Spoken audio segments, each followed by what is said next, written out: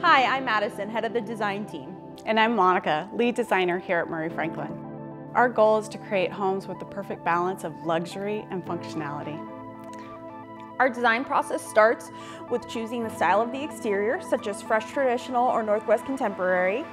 Next, we select exterior colors based on the latest trends and what would look appropriate for the neighborhood and a potential buyer.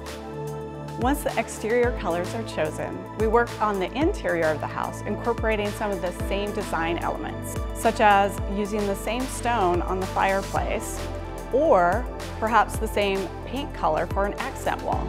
We choose a design direction, either warm or cool. We choose classic colors, textures, and fixtures to create a stunning visual in every room, paying close attention to every detail.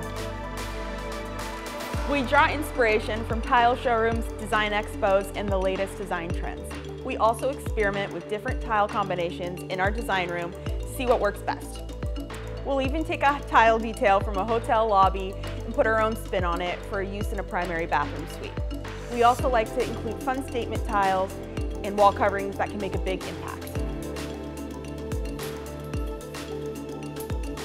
Murray Franklyn creates several design options. If you purchase your home early enough with the pre-sale program, you'll have an opportunity to personalize your home by selecting design options such as tile, carpet, wall coverings within our available schemes.